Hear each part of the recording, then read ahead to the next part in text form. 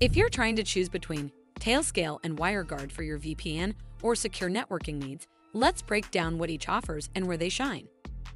WireGuard is a modern open-source VPN protocol known for its speed, simplicity, and robust security. It's lightweight, easy to audit, and uses state-of-the-art cryptography. If you want a traditional VPN setup, WireGuard gives you the raw tools. You'll set up a server, generate and distribute keys, manage configuration files, and handle port forwarding yourself. This approach is powerful and flexible, but it does require a fair amount of technical know-how.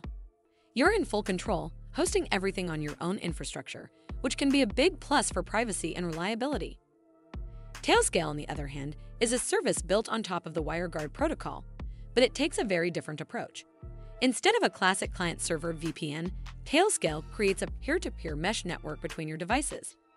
The magic is in the automation.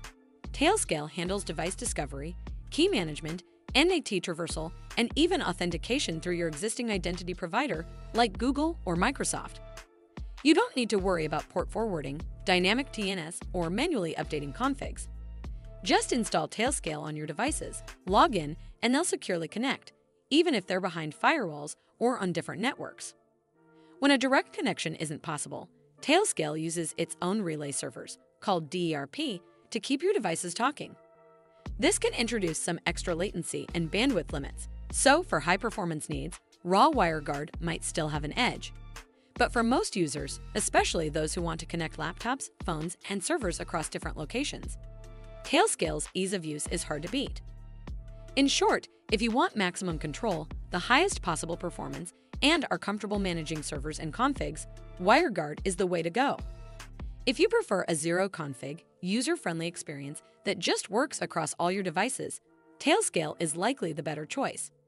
Both are secure and fast, but your decision comes down to how much you value simplicity versus hands-on control. Well, that's all for this video. I hope you found this video helpful.